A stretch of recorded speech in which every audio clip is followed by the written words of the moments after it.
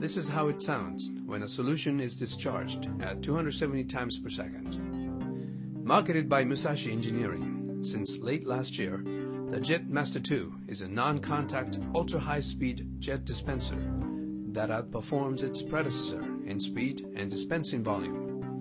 The JetMaster 1 delivers a dispensing speed of 40 times per second, but the new Coating Meister achieves 270 times per second nearly seven times the speed of the predecessor.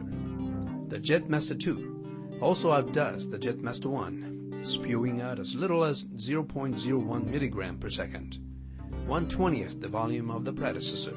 Musashi Engineering added a continuous coating mode to the new machine, allowing it to coat in line. This function has also made surface coating possible.